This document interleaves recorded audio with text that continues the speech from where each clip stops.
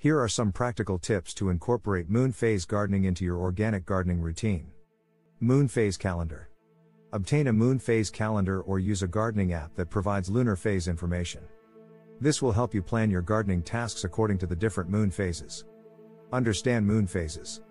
Familiarize yourself with the four primary moon phases new moon, waxing moon, full moon, and waning moon. Each phase is believed to have a unique influence on plant growth and development. Start small.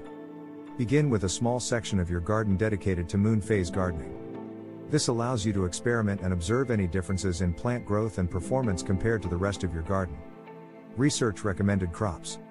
Explore traditional wisdom and gardening resources to determine which crops are traditionally recommended for each moon phase. This information can guide your planning decisions. Note your observations. Keep a gardening journal to record your observations and experiences with moon phase gardening. Note any differences you observe in plant growth, vigor, and overall garden performance. Observe local conditions. While lunar gardening principles provide general guidelines, consider your local climate and growing conditions. Adapt your gardening practices accordingly, taking into account factors such as temperature, rainfall, and daylight hours. Complement with organic practices. Moon phase gardening works best when combined with other organic gardening practices.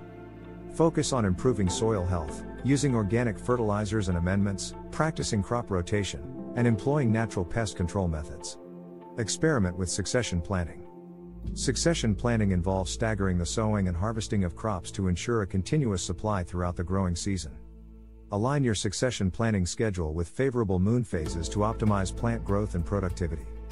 Regularly check moon phase updates. Stay updated on the moon phases throughout the gardening season. This allows you to adjust your gardening activities accordingly and take advantage of specific lunar influences. Stay flexible. Remember that gardening is an ever evolving process, and not every aspect of moon phase gardening may work for you.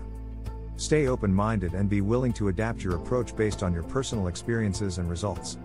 While moon phase gardening may not have scientific consensus, it can be an enjoyable and intriguing way to deepen your connection with nature and experiment with alternative gardening methods.